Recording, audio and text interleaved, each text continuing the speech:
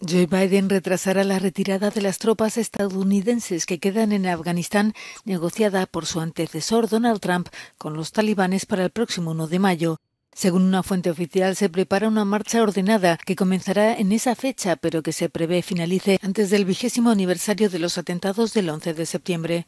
Biden no impondrá ninguna condición para el repliegue, pero la fuente ha recalcado que se ha avisado a los talibanes de que responderán con fuerza a cualquier ataque contra sus militares durante la operación.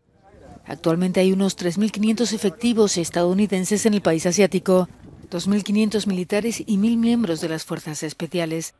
La OTAN cuenta allí con 7.000 soldados de otras nacionalidades. Washington se coordinará con la Alianza Atlántica para que retire sus fuerzas en el mismo plazo. Biden anunciará formalmente el plan el próximo miércoles. Se pondrá así fin a la guerra más larga de la historia de Estados Unidos.